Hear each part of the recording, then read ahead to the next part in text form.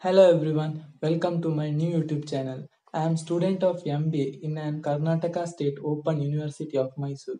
I took admission in the month of January. As you all know, we are not given much clear information on about lot of things like assignment, how to get assignment first page, how to write exam, when to write exam, exam timetable, scholarships, study material and so on. So here in this channel, I will try my level best to give clear information on all these and also I will share my knowledge on particular topic of MBA every Sunday. Next video will be about MBA course structure and marks distribution. If you find my videos helpful, if you see my sincere effort, please do subscribe and don't forget to hit the bell button. Otherwise, you will miss notification of my new video. Thank you for watching.